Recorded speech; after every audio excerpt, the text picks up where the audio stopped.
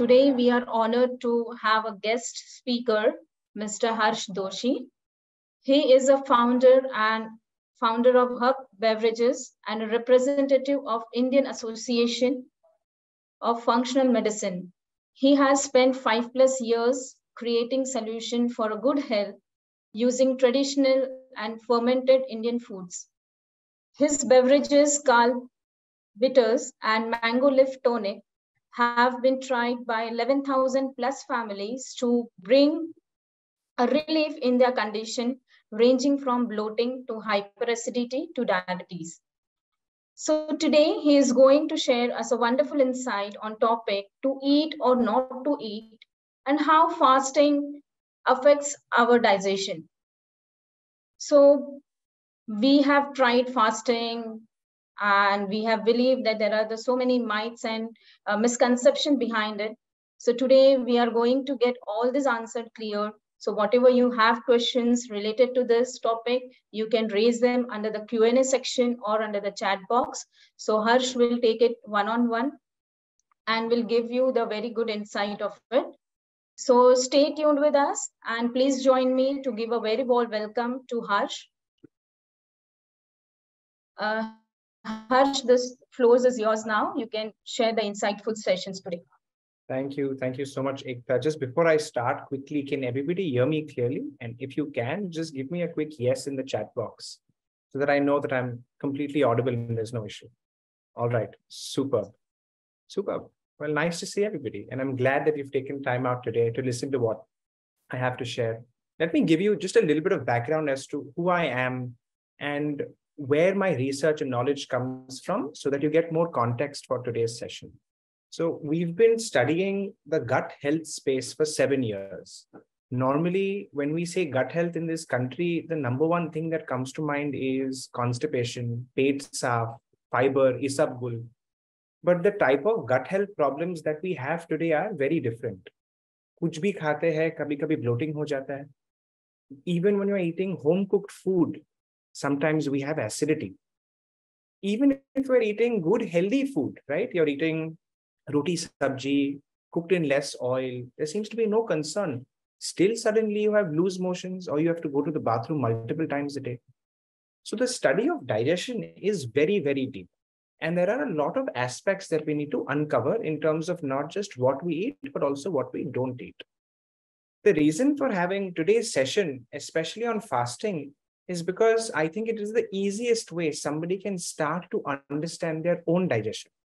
अगर आपको जानना है कि आपकी बॉडी में कौन सा खाना अच्छी तरीके से पचेगा और जो नहीं पचेगा क्या खाना सूट करेगा क्या नहीं करेगा what food will suit you and what will not suit you the number one place to start is to just understand how your digestion and digestive system actually works. If you start from this point, अगर आप यहाँ से चालू करोगे then no matter what any online health influencer will say, you will know exactly what will work for you and what will not. कहाँ आपको invest करना चाहिए हेल्थ के लिए और कहाँ इन्वेस्ट करने से कोई फायदा नहीं होगा So that's the aim and the point of today's session. Towards the end of what I'll do, of course, I'll, I'll leave it open to questions so we can answer, you know, I'll take them one on one. But I'm just going to start with some absolute basics. I'm sharing my screen quickly. I'm starting first with what happens when you eat some food. बहुत basic है, but a lot of people don't know exactly where food goes and how long it takes. So simply मैं आपको पहले समझाने वाला हूँ कि जब आप कोई भी चीज खाते हो कितने घंटे में वो कहाँ जाता है और क्या करता है उसको उसका होता क्या है So usually for the first two hours, let me just quickly, there you go. Usually for the first two hours of anything that you eat, it stays in your stomach. This is the first stage or the first step of digestion. अगर आपने कोई heavy खाना खाया है, it might stay for two to four hours. If you've had something very light, like let's just say fruit juice, it will stay for 20, 30 minutes. So this is very food dependent. But normally, दो से चार घंटे के लिए, the food will stay in your stomach the moment you're done from that so over the next six hours so from you the time you've eaten समझो कि आपने breakfast 8 बजे लिया so 9 10 the breakfast is probably in your stomach 11 12 1 up till 2 o'clock the breakfast goes to your small intestine वहां it starts getting broken down into smaller pieces जो nutrition आपकी body को चाहिए it takes it away and the remaining food that it cannot process it will push out मतलब आठ बजे का breakfast दो बजे तक the thing you've had at 8 a.m. in the morning till 2 p.m. it is in your small intestine it's not left your body it is still very much there then for the for the total amount of 16 to 20 hours which means normally for the next 12 hours that breakfast will go into your large intestine. It goes into your colon. There your gut bacteria will start to ferment it. मतलब आपकी body जो खाना में से निकाल ना पाया वो आपका गट बैक्टीरिया खाएगा that's what your gut bacteria will start to ferment this is what we normally call fiber but the truth is it's a lot more than just fiber it's all sorts of things that your body could not digest and could not break down so just to give you perspective what you've had, your breakfast at 8 in the morning, technically needs to be out of your body by around 3 a.m. or 4 a.m. the next day. That's how long a normal process of digestion takes. Now, if you're non vegetarian, it will take longer because some of those proteins are harder to break down and harder to digest. It might take 24, 25, 26 hours. If your digestive system is slow, it will take longer. If your digestive system is fast, it will take shorter. If you have an infection, it will take shorter. It's called loose motion bolte, diarrhea bolte. So just step one is when you eat, this is what happens. When somebody showed this to me seven or eight years ago, the first question that I had is, Are, it means ke breakfast khate hai, lunch khate hai, dinner hai. So your digestive system is never at rest. If you actually calculate everything that is going for a 20 hour cycle, it actually means that food is almost always in your digestive system. The only place which remains empty from time to time is your stomach, which is why after you eat, after two, three hours, this part near your chest starts to feel a little bit lighter. It doesn't feel as hard or as heavy, but the heaviness will start coming near your belly button. This is a sign that the food has started going downwards in your system. But this isn't the reason why we fast. So here, what we want to focus most on is understanding what happens when we stop eating. Now, many intentionally यहाँ cancel किया I've intentionally canceled the word fast because I think it's quite extreme. And when you start learning more about what I'm about to say, you will understand कि हम जब नहीं खाते उसका ये मतलब नहीं है कि हम fasting कर रहे हैं. There is a big difference between the two. I'm going to explain exactly what that is. So again, let's start by understanding सुबह आपने ब्रेकफास्ट खाया नाउ अस्यूम कि 10 बज गए you had breakfast at 8 o'clock assume it is 10 o'clock right what is happening in your body for the first time your stomach is now empty there is nothing happening inside your stomach you will feel light at least you should feel light but normally anything which is inside the stomach that is stuck to the walls that has not been digested properly that has not become liquid enough to move into the rest of the system it starts to get cleaned. This is like an automatic system by the body. You don't have to do anything. You don't have to work out. You don't have to do any asanas. No yoga. Body It is how the body naturally works in its system, in its way of operating. When you don't eat for four more hours after that, usually you'll start noticing that your small intestine will also clear up. Now, when your small intestine clears up, something quite interesting happens the body moves again into its program that it calls the motor migrating complex, MMC. It means that anything that is stuck to the walls of the small intestine, the body starts sending waves. It start on the stomach and goes all the way large intestine कुछ भी खाना बाकी रहा, कुछ भी कच्चा रहा, कुछ भी पाइप में अटक गया है, सब कुछ निकलेगा and will automatically come into your large intestine I tell you a small secret if you look at an endoscopy report और even if you look at a colonoscopy report you will notice कि small intestine completely clean लगता है. It is pink it is is like there is no food there ever सब कचरा आपको large intestine में ही मिलता है. And this is the beauty of the body the body's own mechanism is such that it activates this MMC and send waves to clean the small intestine वो भी खाने के चार घंटे के बाद just four hours after you completed your meal but there is a few there's a small catch and you have to understand this really well अगर आपने वापस कुछ भी आपके माउथ में डाला if you had anything else even a small bite this process will completely stop. You will have no cleaning effect. See, the body can do one of two things, right? Either it will clean the system or it will digest your food. वो दोनों साथ में नहीं कर सकता. So if you're eating, it gives food priority. And if you're not eating, it will give cleaning priority. So let's just take a quick step back and we'll just summarize first. आपने खाना खाया दो से चार घंटे पेट में चार से छह घंटे आपके स्मॉल इंटेस्टाइन में और कुछ बारह घंटे के आसपास रहेगा ऑलमोस्ट आपके लार्ज इंटेस्टाइन में कुल मिला के कुछ सोलह से बीस घंटे होते हैं। अगर आपने नहीं खाया the moment you had your last meal six hours later your stomach and your small intestine will be completely clean अगर आपने एक बादाम भी बीच में खाया, एक चाय का कप भी पिया if you had anything these processes will not happen आपका स्टमक क्लीन होना बंद हो जाएगा। It will stay as it was before because your body is busy digesting food now before I explain the implications, before I explain exactly क्या हो रहा है, I'll show you some nuances as well.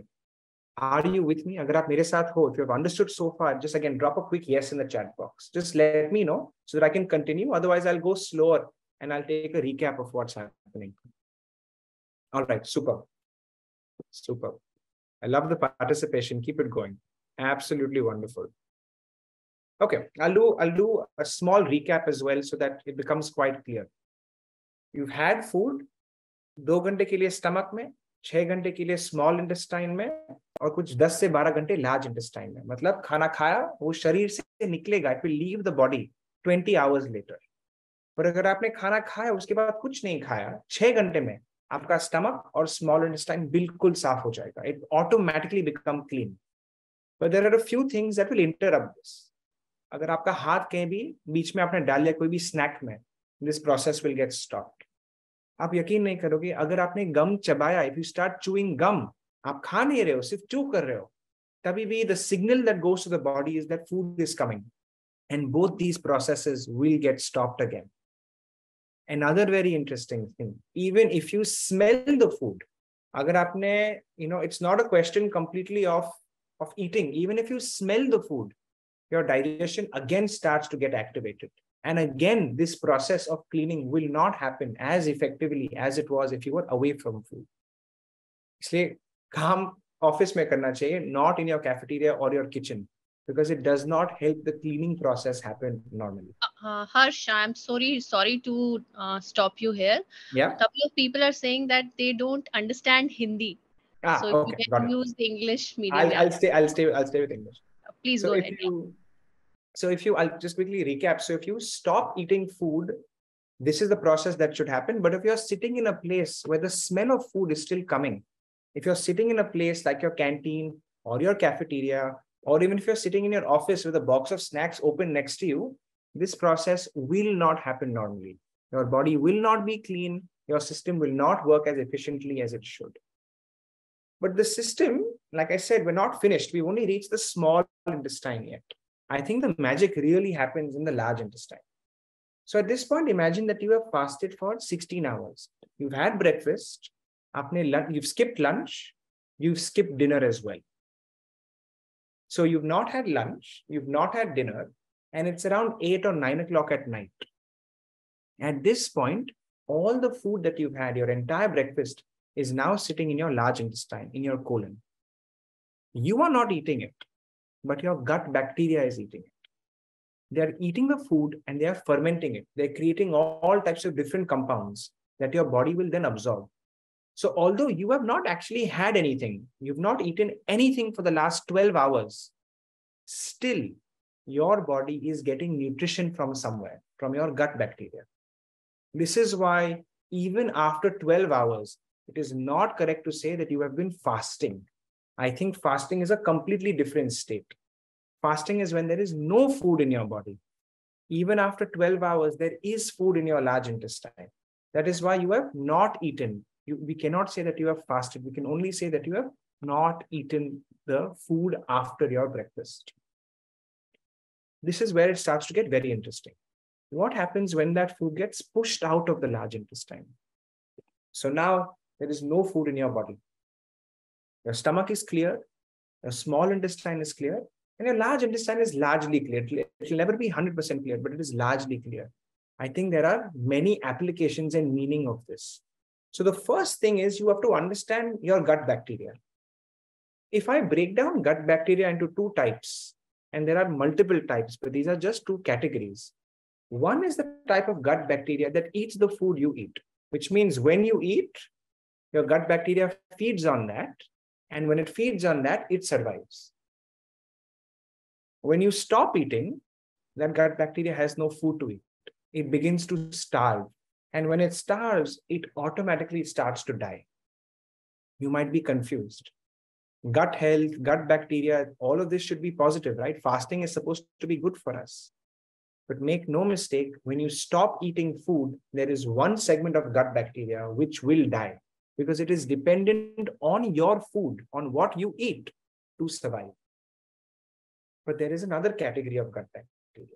We typically call them mucin eaters, M U C I N.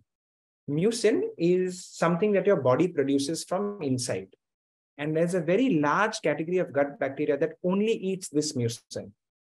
So, what naturally happens is that when you've not eaten food, your gut bacteria that, that rely on that food will start to diminish, they'll start to die. But the gut bacteria that is eating your mucin will start to flourish, it will start to grow. So, in many ways, you have completely changed your own internal gut bacteria makeup. Now, whether this is good or bad, we'll address that in a second. But fasting or even not eating for 12 or 13 hours is exactly like taking a probiotic tablet. You can quote me on this because it makes a very large difference to your gut microbiome. It will completely change the makeup of what it is that is inside your gut bacteria and your gut microbiome structure. Now, this change, is it good or is it bad? Till date, we don't know. No researcher has been able to prove whether this is a very good thing or a very bad thing. We only know that some strains of bacteria are very good for you. They're associated with good changes, helps you lose weight, helps to manage blood sugar, helps to manage blood pressure, helps to increase sharpness of the mind. That strain of bacteria grows a lot more when you start to fast because that bacteria is a mucin eater. But a lot of and a lot of bacteria which are negative bacteria, harmful fungus, parasites, worms, all of those depend on food you eat. So when you stop eating it, a lot of the bad stuff starts to go away. But make no mistake, some of the good stuff will also go away. That is why fasting and the effect that it has on your gut bacteria is currently being studied. There is no definitive answer, but it's important to understand this is happening. Now, in my mind, fasting doesn't even start here. Fasting really starts after this point. Because now we come to other aspects. What happens 20 to 24 hours later? So assume you've had breakfast at 8 in the morning. You've not had anything throughout the whole day. The entire day, you've not had anything. Next day in the morning at 8 o'clock, here's what's happening. You'll start, the impact will start to come across different body functions, not just your digestive system. I'm going to talk about some of those functions. But before I do, let's take a quick step back. Understand that when we eat, we get energy from the food. When we don't eat, your body needs to take energy from somewhere. Otherwise, how will every you know muscle, every cell, everything perform its function properly? In fact, the act of digestion alone takes 10% of your calories, which means if you eat 1500 calories in a day, your digestive system itself needs some 150 to 200 calories to use and burn and process all that food. So, where is all the energy coming from? Your body is not designed to fail when food doesn't come in. Your body is extremely intelligent. If you're not eating, or when you are eating, anything that is excess, your body stores. And it stores it in multiple places. It stores this in tissue, it stores this in skeletal muscle, it stores this in your liver. And here, the liver is perhaps the biggest area of storage that I'm going to talk about for now. When you don't eat, your liver starts to release its stores. It says, all right, I can see that the system does not have enough energy. Let me give that energy to the system. And so the liver starts to release all the stores of energy that it has kept. Now, this is, of course, quite a dramatic presentation of what may happen. It's not supposed to be like that. But this would just give you an idea of what happens when the liver starts to release its stores. You can see that the liver is starting to go from a state where it's slightly fatty or its, its excess is stored to a place where all the excess is starting to get removed. At the 24 hour mark, one day later, your liver will very, very likely exhaust all its stores. It means everything it had stored, all the extra energy that was there, all of that is released and given back into the body. So I'll take a step back. Two hours you didn't eat, stomach became clean. Six hours you didn't eat, small intestine became clean. 20 hours you didn't eat, large intestine became clean, and lots of bacteria in our gut have started to change. Some bad ones are going to go away, some good ones are going to grow. 24 hours and you didn't eat, your liver will probably completely run out of any type of extra store. So the 24 hour mark, of course, there's a lot of genetic variance. For some people, it'll be 20 hours. For some people, it might be 28 hours.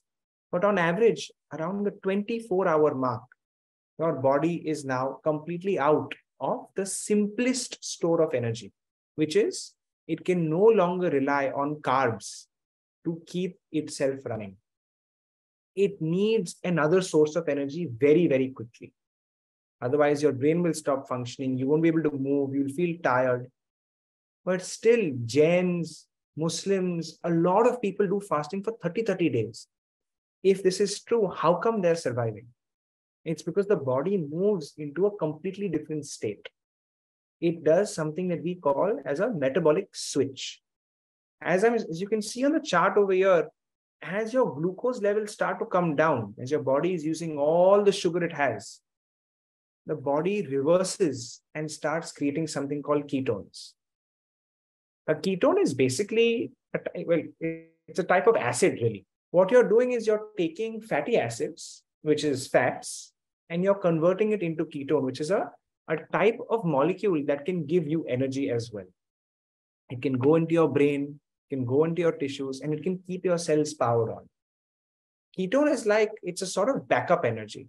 It's not something that you should be relying 100% on. It's a fail safe. If you don't get glucose, your body can survive on ketones. It was a survival mechanism that we all have innately within us. Now, as your glucose is coming down and your ketone is going up, there is a point where the whole thing switches. Your body is now running on ketones. It's no longer running on glucose. This switch is what we call a metabolic switch. And this switch is associated with lots of benefits. People say that this switch causes insulin sensitivity. This switch reduces the amount of insulin your body needs. This switch, for example, will start improving the amount of blood sugar that is uh, that is currently in, so your sugar that is in your blood, so your glycemic control starts to become better. This switch has an effect on blood pressure. This switch has an effect, for example, on cholesterol, on HDL, on LDL, because the fats which are coming to create ketones, where are they coming from? It's not your actual fat. It's all types of fat, including things like esters, like cholesterol, you know, LDL, etc. So this switch allows the body to start moving into a completely different type of state. But it doesn't end here. Even after you have ketones, your energy production in the body is not sufficient. See, like I said, this is plan B. This is not plan A. Plan A was eat, you have energy, you can do all your activities. But when you don't eat and you've gone for more than 24 hours, your body starts making ketones. But how much energy your body needs and how much the ketones can provide is not always the same. Maybe your energy needs are this much, but the ketones are providing this much. How do you fill the gap? The body starts getting a little bit desperate. And when I say it gets desperate, it starts searching pretty aggressively for things that it can use as energy. And this is where, you know, once you've crossed that 24 hour, 36 point mark, this is where the desperation begins. One of the acts of desperation is the body starts discarding everything it does not need. It's like if you've run out of money, but you have to pay rent, you'll start selling any furniture that you can to put the money together. In the same way, if your cells have a lot of old components that are not being used, that were not discarded properly, the cells start to degrade that, consume that as a form of energy. Now, one way of looking at it is, you're cleaning everything right? Your body is becoming richer in terms of new active components. Another way of looking at it is the active things are eating away everything that is not required. So this combination is such that your body at this point is working at its extremes. It's working closer to the top of its limit. This process is what we call autophagy. This cleaning internal process, especially from an intracellular and slightly extracellular standpoint. Autophagy is very interesting.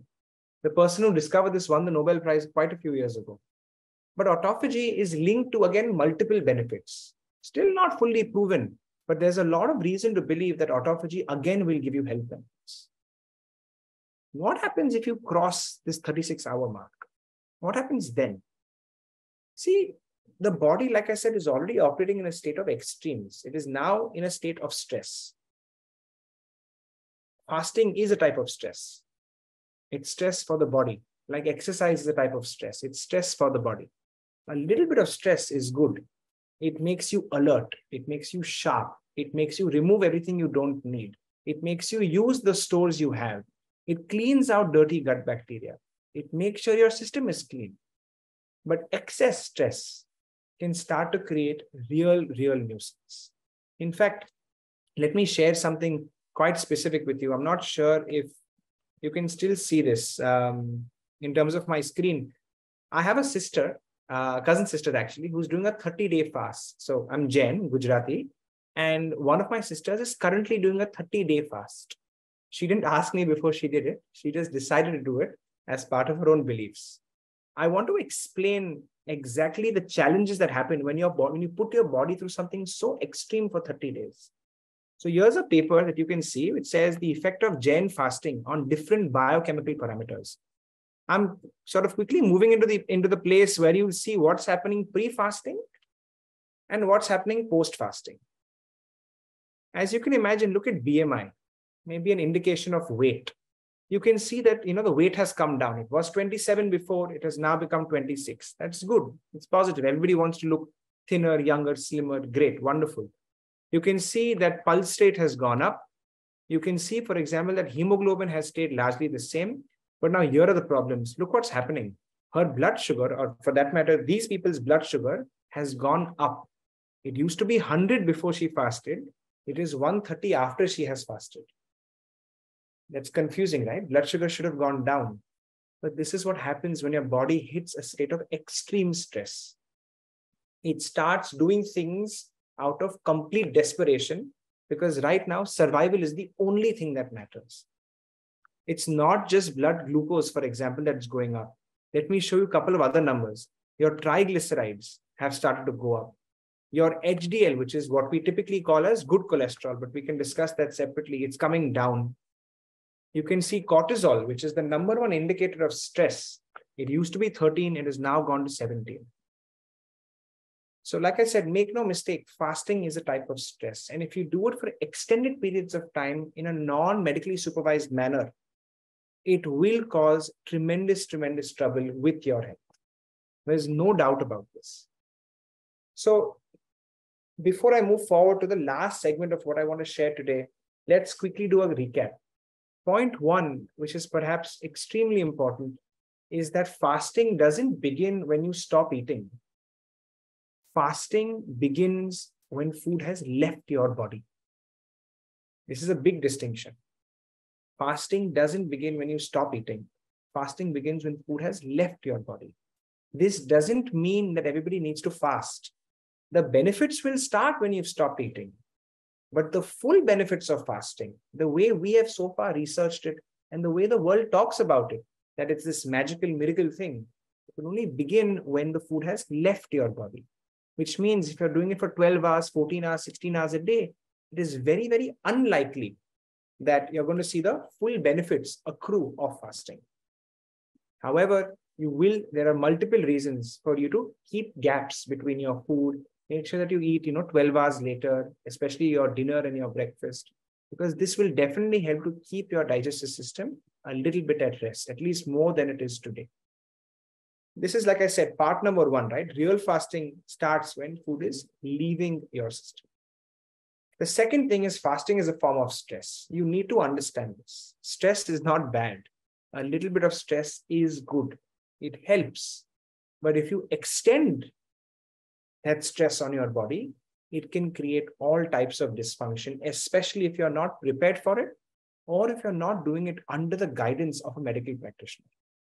So if you're doing any type of extended fast, which in my mind is more than 36 hours or maybe even 48 hours, you definitely need to do it under the guidance of a medical practitioner. Do not attempt this on your own, especially if it is your first time.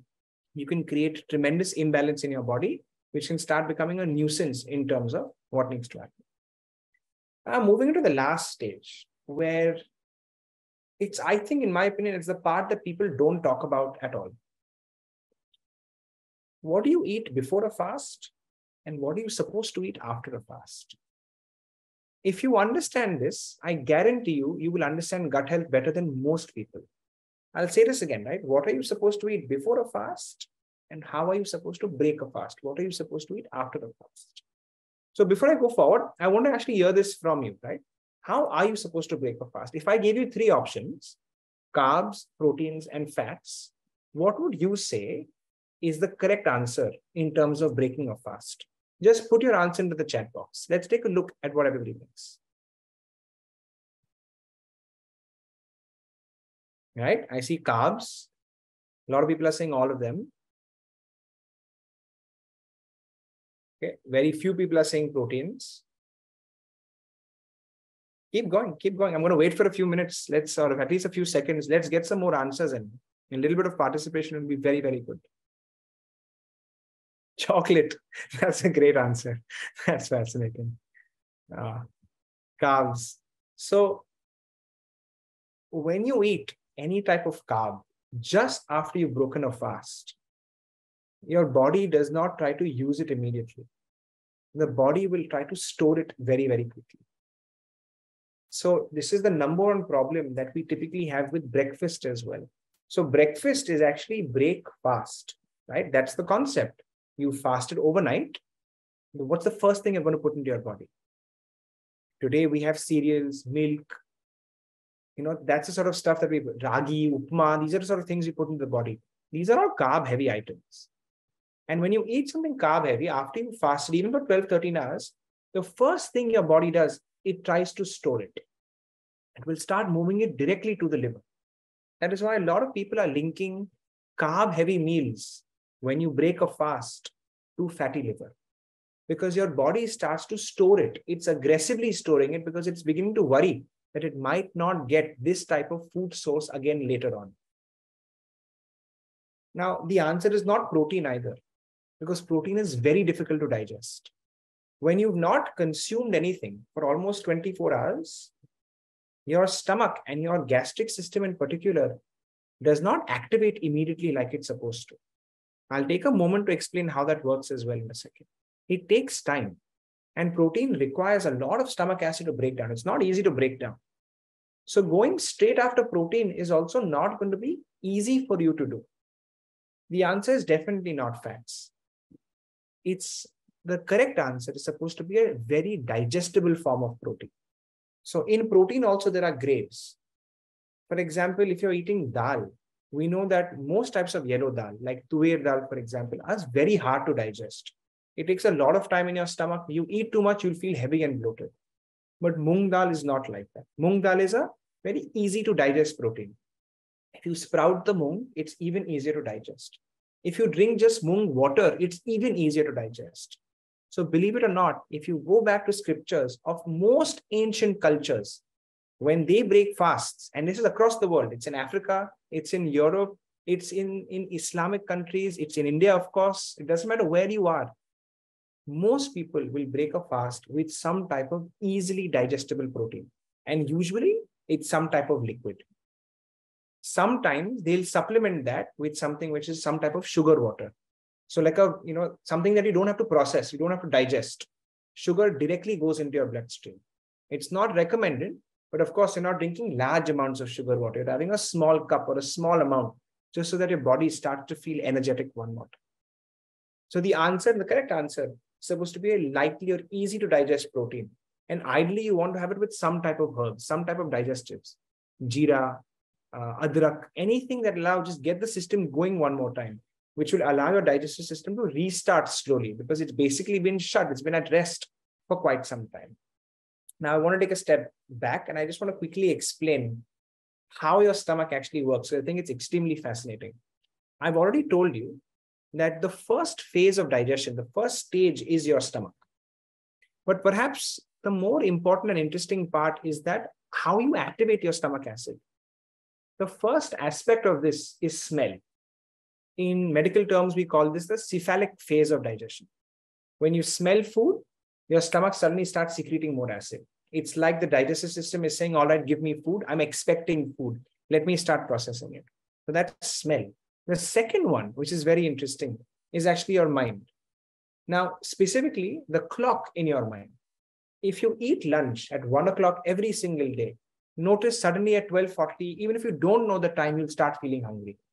The reason is because your body works on its own type of clock. It's called the circadian rhythm. And your circadian rhythm will determine exactly when you feel hungry. Which is why if you suddenly eat lunch today at one o'clock and tomorrow at three o'clock, the same food, you'll feel heavier when you eat it at three because your stomach was not ready to digest that food. It wasn't expecting it then, it was expecting it two hours before. There are ways to retrain your circadian clock, but you have to do that one on one.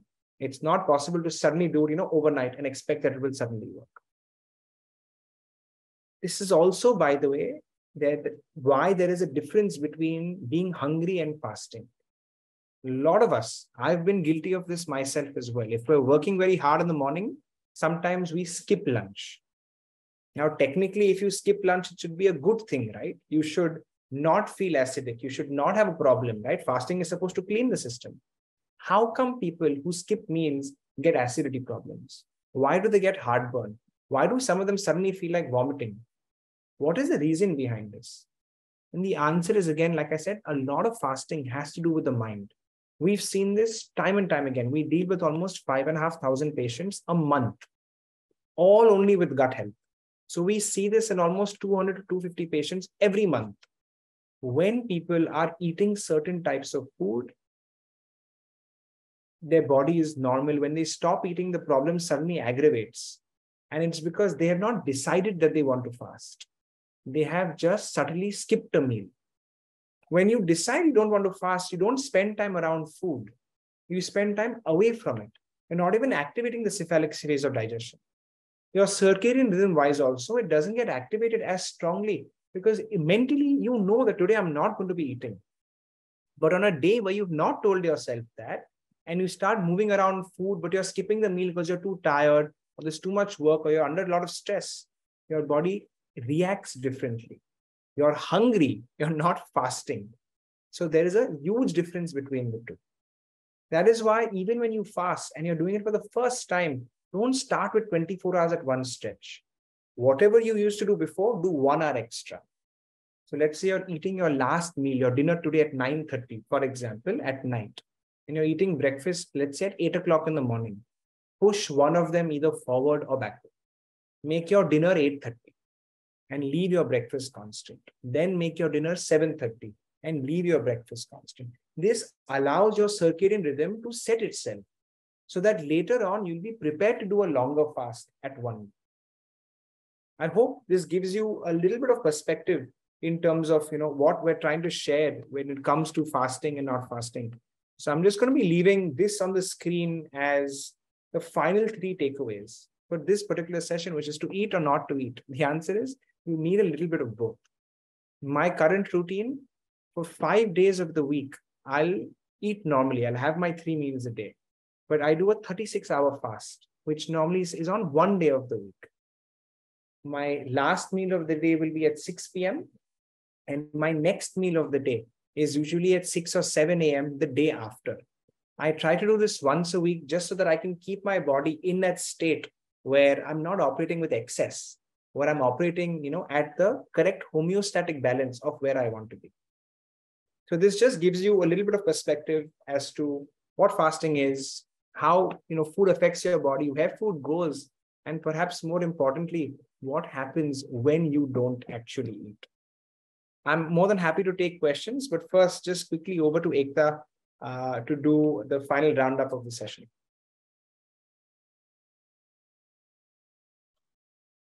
Yeah, so thank you, Harsh, for such a wonderful insights that you have shared on fasting. So uh, we will quickly launch a poll and so poll is live now. So you can just uh, give us the feedback on how was the session and what kind of another kind of sessions that you would like to have it in the next couple of weeks and months. So the poll is live. You can uh, rate this session and meanwhile, we will start with an Q&A session. If anybody wants uh, from the audience, you want uh, to speak uh, directly with uh, Harsh regarding your questions, you can raise your hand so that we can move it to your panelist and you can ask your question directly. There are a couple of questions in Q&A. Yeah. You can take them up. Yeah. Yeah. Yeah. So there are questions under Q&A as well. And there are uh, in the chat as well. So we can cater one by one, Harsh. Sure. All right. So I think the number one question I see is water intake. Water is a zero calorie liquid. Even tea has something that can start and activate your digestion. Water doesn't. Water spends less than five minutes in your stomach. It hardly spends 20 minutes in your small intestine. So, no, water does not break fasting in any way. So, you can have water throughout the entire day as you fast. In fact, I recommend it because staying hydrated is quite important. So water is definitely not something that you should be worried about when you're fasting. Uh, I see, in fact, I think six or seven questions are there. There are two questions around diabetics and fasting. Look, if you go to the most expensive diabetic uh, educators today, right, you pay 5,000, 10,000 rupees a session as well the default is that they're going to ask you to fast in some way, shape, or form. They very likely will, un unless you have a pre existing condition. Now, this is dependent on based because they're all trying to reduce the fat around your liver and the fat inside your pancreas. One we call, well, NA or alcoholic fatty liver, and the other one is what we call is the fatty pancreas to remove the fat from inside these organs, fasting is the easiest, smartest, and most simplest, safe way to get that done. But fasting is not recommended for diabetics generally. We work with quite a few diabetic patients too, where we put continuous glucose monitors on them. If you look at their patterns, if they start fasting, the blood sugar does not come down. The blood sugar starts to go up first. This is a temporary phenomenon. So if you fast for the first few days and you check your fasting blood sugar, you'll start worrying, oh, it's going up. You'll freak out as a diabetic. The reason it's going up is because it's a signal for your liver to start pushing out excess. And your liver is pumping it all out at one go. So if you are fasting as a diabetic, again, do it under medical supervision. Do not just do it blindly because of two reasons. One, you may see the results and you might feel disheartened because you don't know how long you have to keep doing it to see a good result. And two, if your current medication is something that's going to intervene with the fasting protocol, then it might create nuisance as well. So if you're fasting as a diabetic, you should consider it, by the way, very much as a diabetic, but do it under medical supervision. Don't just attempt it alone. It's not the right way of doing it. Uh, I see, how about green tea or black coffee? A lot of people online will tell you that green tea and black coffee will not affect fasting. I completely disagree you have to understand everybody is indexing only on two things. It, the green tea has no carbs or black coffee has no carbs. If it's got no carbs, it will not start digestion. That is not correct. Green tea and black coffee have a lot of other things. They've got tannins, they've got polyphenols, they've got all types of antioxidants. Where do you think all that is going? It's not like those suddenly come into the body and go into your body. They need to be broken down. They need to be biotransformed. They need to be converted chemically into a format in which the body can use them. So green tea and black coffee very much activates your digestive system. It's not just that because they've got no nutrition or no calories, nothing will happen.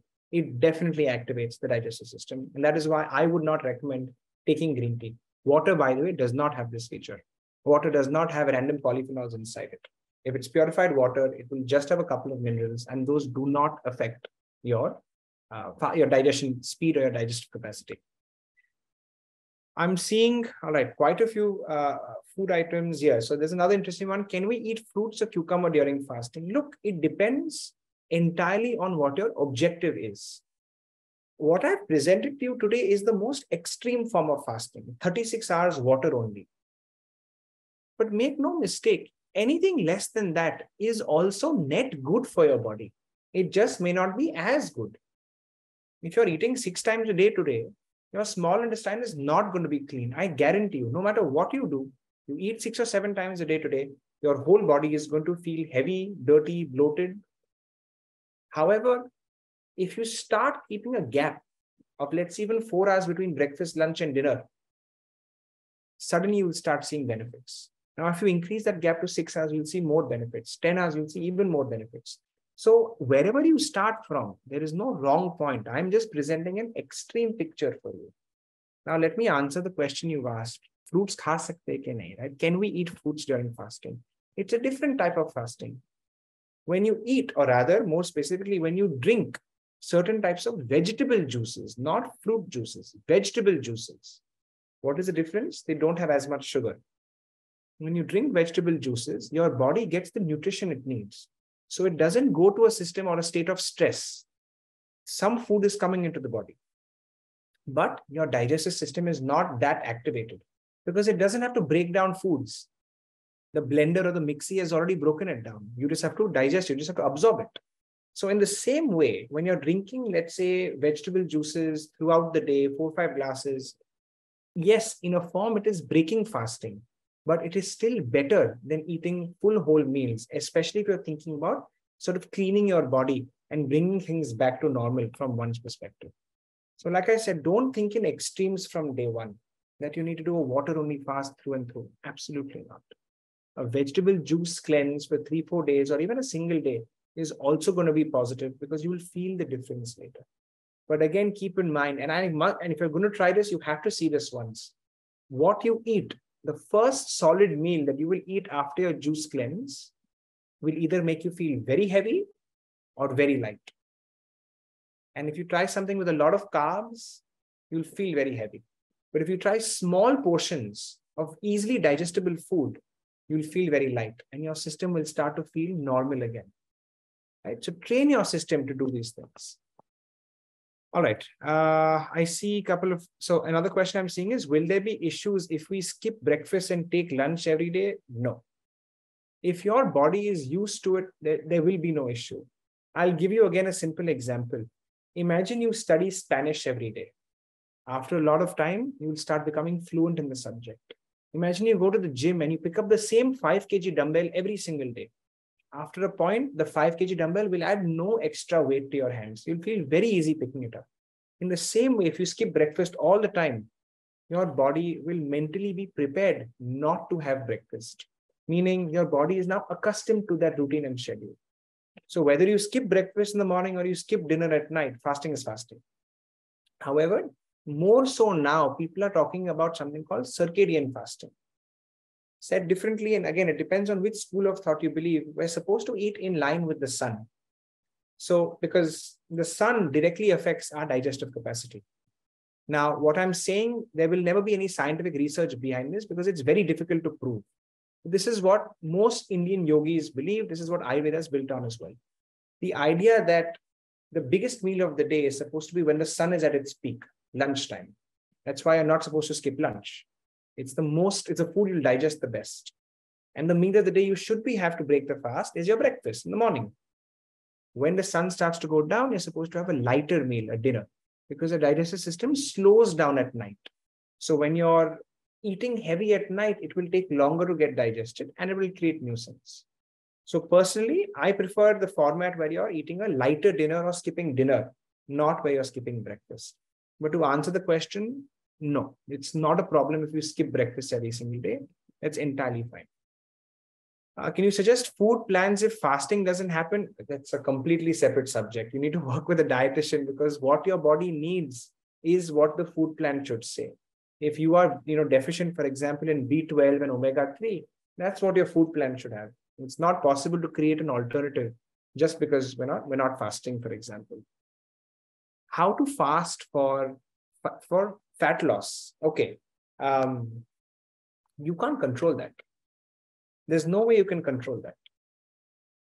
For some people, if they're exercising while they're fasting, so let's say I didn't eat, you know, a dinner last night. My dinner was, let's say, at 6 p.m. last night. And this morning at 6 a.m., I've gone to the gym. So after 12 hours, I've gone to the gym. Naturally, all the sugar in my body will be used faster because I've gone to the gym. So my body will start looking for extra sugar much quicker and it might contribute to fat loss. Now, this is what theory says, but it doesn't always apply in reality what your resting metabolism is, how much food you had the night before, what state your body is in, how frequently you go to the gym, what are the size and capacity of your muscles. All these things affect whether you're going to lose weight or not lose weight with fasting.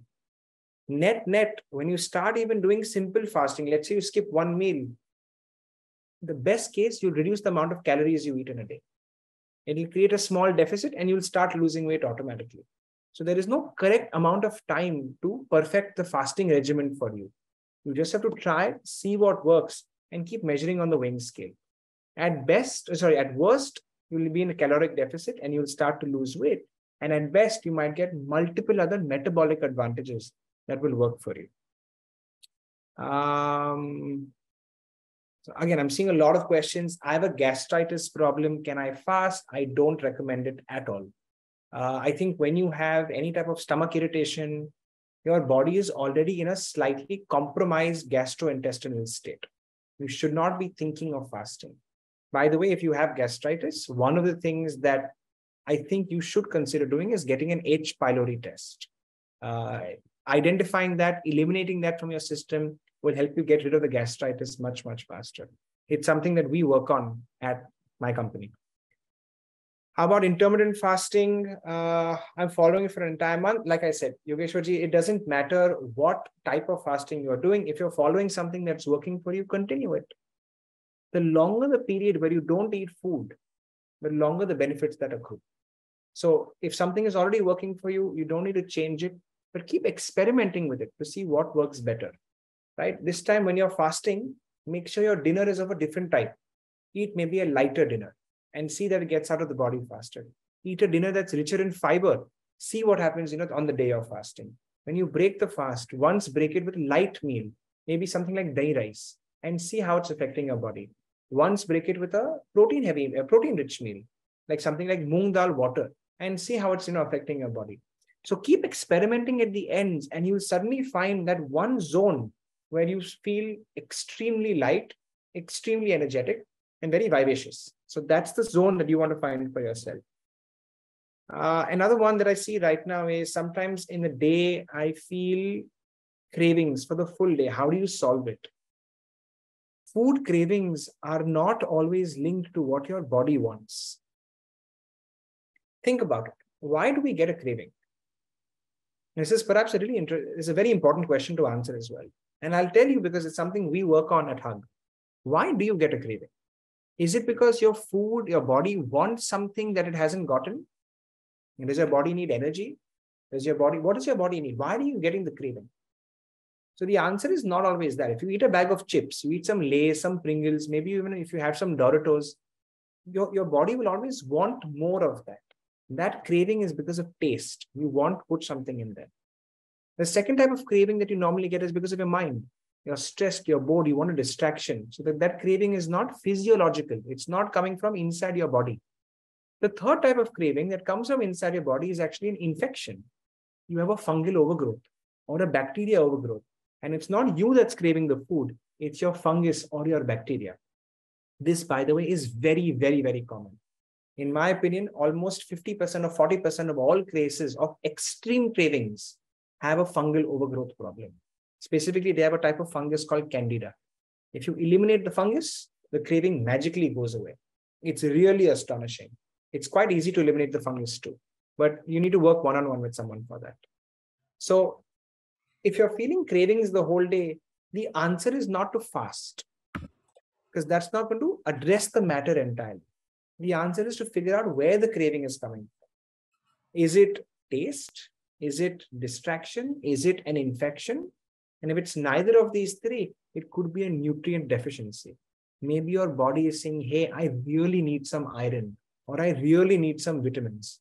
And you're not giving it to me. So please find some food that you know that you so I can get that in the body. If it's a nutrient deficiency, you need to fix the nutrient deficiency and the cravings will begin to go away. So cravings and fastings don't have any direct connection. But if you find out the root cause of your cravings, the cravings will suddenly start to go away.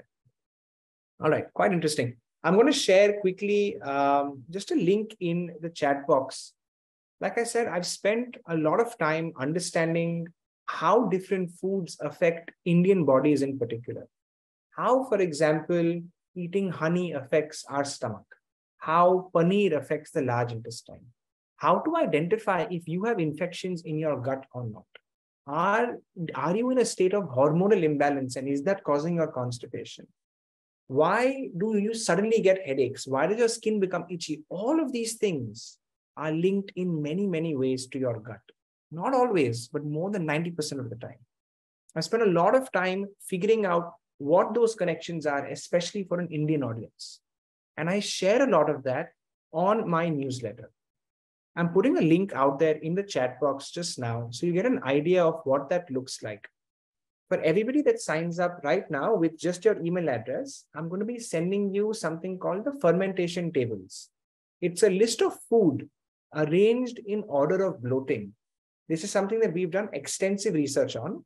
What foods in what quantities normally cause excessive bloating for an Indian audience? So if this is something that you want to try, see, or even print out and keep as a reference as to what food is making you feel unbelievably gassy, take a look at this list. I'm sharing the link in the chat box. Ektaji, if you can just drop that message uh, publicly, I'll uh, just put in your email address and you'll get that on email. Take some time, go through it, go through the steps one by one, see the foods you're eating, and compare them with the types of foods that you're currently consuming. Maybe you find out what the culprit is. Just removing some of those foods, and suddenly you'll start feeling lighter and cleaner in your body no medicines, no supplements, no doctor visits. You can do this absolutely on your own. All right, super. I think I've answered quite a few, or most of the questions, at least from the Q&A section. If there's anything else that I've missed, by all means. I have a question. Please do. I have a question that, you know, women differ biologically from men. Yeah. And women are basically governed by their cycle and hormonal interplay. Yeah. So does fasting differ for a woman than a man? Very good question. So, how does a woman, what are the big aspects in which a woman changes or a woman is different from a man from a digestive system standpoint? Most things are actually fairly the same, but there are two, in my opinion, which are quite different. One is the length of the gastrointestinal system, and the second is the hormonal changes. So let's take each of those one at a time. We'll start with length. On average, and it's actually a very interesting study which shows this. A woman's large intestine is a couple of inches longer than a man's. The reason is, is because it has to sort of curve around the uterus and come. The man doesn't have a uterus. And so, because the system is longer, typically, if me and my sister, for example, eat the same food, it will usually take her longer to remove it from her body than it does me. This is biologically normal. This is not a problem. It's just the way it is. That is why, by the way, most gastrointestinal, so for, for gastroenterologists in India, the number one population that comes is female, it's not male. Almost 65% of the patients are actually females and fewer are males, although the problem should be constant in a population which is gender independent. So that's part one, right? That women are usually predisposed to having, or rather, the threshold for having gastrointestinal problems is a little bit lower because the system is longer. It usually takes longer for food to pass. There's a higher chance that something goes wrong. It's more sensitive. Point number two, we talk about the hormonal cycle. So when it's your time of the month, and menopause is a separate game, I'm talking about premenopause. When it's your time of the month, the key hormone that you release that affects your entire system is called progesterone. Now, progesterone is something which is known to slow the gastrointestinal tract. In fact, so much so that some of the earliest progesterone supplements were sold as anti-diarrheal medication. The, people used to consume that just to sort of limit the amount of, you know, the speed at which food was moving through the tract. when a woman has an imbalance in the progesterone range, you will normally see that food will either move too quickly or too slow, which is why a lot of women also feel quite heavy as they're, you know, on day one or before day one as their cycle is beginning to progress. Now, how does fasting affect this? The, the link between fasting and hormonal control is still not proven. There is no relationship between the level of hormones you'll have, whether they're in a homeostatic balance and fasting because the papers which have come out, the number which say is good and the number which say they're bad are equal. So there is no conclusive evidence for this. However, there is one clear benefit that I usually see. Young girls today typically have estrogen excess, right? How does estrogen leave the body? Estrogen is a fat soluble hormone. So the way estrogen leaves the body, it has to break down. It goes through your liver, it comes out in your bile, and then you're supposed to poop it out you can't pee out estrogen. It's fat soluble. Your pee is urine. It's, it's water. So for the process of elimination to happen, when you fast, your liver is able to eliminate much better. And so one of the things that seems to have more evidence than not is that estrogen levels in particular seem to get balanced much better once you do regular and repeated fasting. But estrogen and the impact on your GI system is not clearly established just yet. What we know for sure is progesterone. And there doesn't seem to be a very strong uh, case that fasting affects progesterone. So the answer is a mixed bag. For women, because the system is longer, they're more predisposed to having you know, digestive trouble. So from that standpoint, fasting should help them more. But then also there's a hormonal component where two key hormones are there progesterone affects the GI system a lot more, but fasting doesn't seem to have much of an impact. It seems to have a lot more impact on estrogen in terms of its removal, but that doesn't affect the GI system, right? So there's there's a wide range of, of what's happening for a woman. If you are a woman and considering fasting, I would very much recommend that you start simple. Don't think that it's any different for you and start to notice the changes in your body step by step. And that should be the easiest way to go forward. Thank think, you. Yeah. yeah. And maybe think, a woman should be careful towards the end of her cycle because, like you mentioned, progesterone. So uh, we know that fasting adds stress to the body so that yeah. can raise cortisol levels and mess up with the progesterone and end up having you know hormonal imbalances during the end days of the cycle. Absolutely correct. Maybe. absolutely correct. Yeah. Thank you. Thank you. This discussion yeah. was insightful. Yeah. I appreciate it. I'm just sharing the link. I, because I see a lot of people have actually put their email addresses in the chat box. Um, so for everybody, uh, the link is now actually in the chat box. I'm, I'm just, I've opened it on my screen so you get an idea. Just open the link, put in the email address, hit subscribe and you're good to go. The email that you'll get will have a copy of something called the fermentation tables. So just click on that, download that. It's an Excel sheet uh, or actually as a PDF file and either take a printout or just map once. See what you're eating in terms of what can really cause a lot of bloating for you. Keep in mind, bloating is not heaviness. I'm talking about gas, so it can create a lot of gas. And based on what is going to create that gas, try to start making correlations in terms of what you're actually eating, what you can begin to avoid just a little bit. So like, uh, yeah, one of the attendees wants to understand like, is enema a good option to clean the larger intestine? If yes, then what should be the frequency? I think Satvic movement has made this so popular. We get this quite a bit. Uh, your large intestine is multiple feet long. And enema only takes water up to three feet in your large intestine. So number one, will it clean the large intestine? No it wouldn't because it would only clean a part of it. If you really want to clean the whole intestine, you should do something called colon hydrotherapy, which is much, it's, it's, it's, a, you can't do it at home. You have to go to a clinic to get that done. That's part one. Part two, I don't recommend enemas. I mean, I've never, um, I've never done it. I don't think it's required for a lot of people because your body should have the ability to clean on its own. And the food you eat and the type of lifestyle you live will allow that cleaning to happen on its own. You don't need to flush things out with water. So I don't recommend enema from that perspective. But if it's something that, like I said, works for you, if it's a practice that you believe in, by all means, give it a shot. See how you feel right after. But please don't try fancy enemas like coffee and you know type probiotic enemas and oil enemas. That's not the way to do it. You might end up creating more nuisance in your system than otherwise. So I don't personally recommend it, but if it's something you believe in, by all means, give it a shot. So Harsh, there is one more question in a chat box, like suggest some available anti-stress food. That I, I don't know questions like that. There is no fruit that will reduce your stress levels. You will have to reduce your stress levels on your own.